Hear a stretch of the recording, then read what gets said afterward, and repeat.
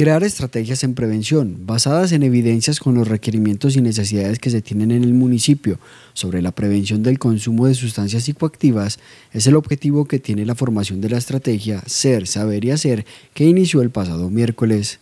El día de hoy estamos iniciando la formación en la estrategia Ser, Saber y Hacer en prevención del consumo de sustancias psicoactivas. Esta es una estrategia que está enmarcada en el programa bandera de la gobernación, que es Salud para el Alma, en su componente de intervenciones colectivas en salud mental. ¿Cierto?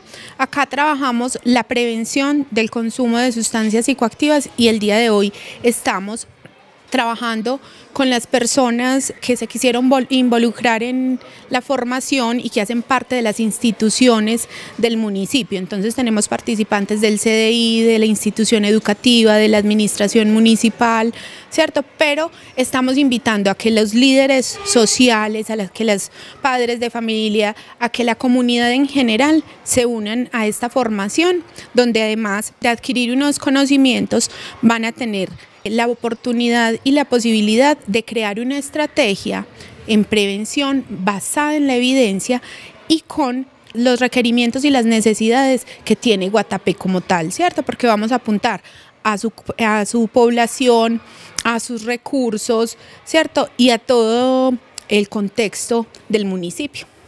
Este es el primer encuentro de tres que se harán durante lo que queda del presente año, donde se darán herramientas que los participantes podrán usar en los diferentes ámbitos en los que se desempeñen. Es una formación que va a estar eh, en tres encuentros. Estamos el día de hoy hasta las 12 del mediodía.